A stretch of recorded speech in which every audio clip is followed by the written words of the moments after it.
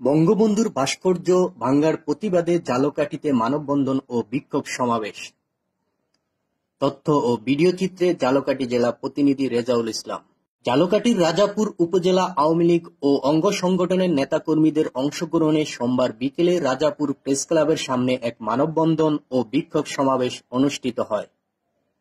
মানববন্ধনে রাজাপুর উপজেলা আওয়ামী লীগের সভাপতি অ্যাডভোকেট খায়রুল আলম সরফরাজের সভাপতিত্বে বক্তব্য রাখেন জেলা আওয়ামী লীগের সহ-সভাপতি অ্যাডভোকেট সঞ্জিত কুমার বিশ্বাস, বিজ্ঞান ও প্রযুক্তি বিষয়ক সম্পাদক অধ্যক্ষ মোহাম্মদ মনিরুজ্জামান, উপজেলা আওয়ামী লীগের সাধারণ সম্পাদক মোহাম্মদ জিয়া হায়দার খান লিটন, সিনিয়র সহ-সভাপতি Afroza Akhter Laizu, Khan Mohammad Riaz Uddin, desk news, BMF television.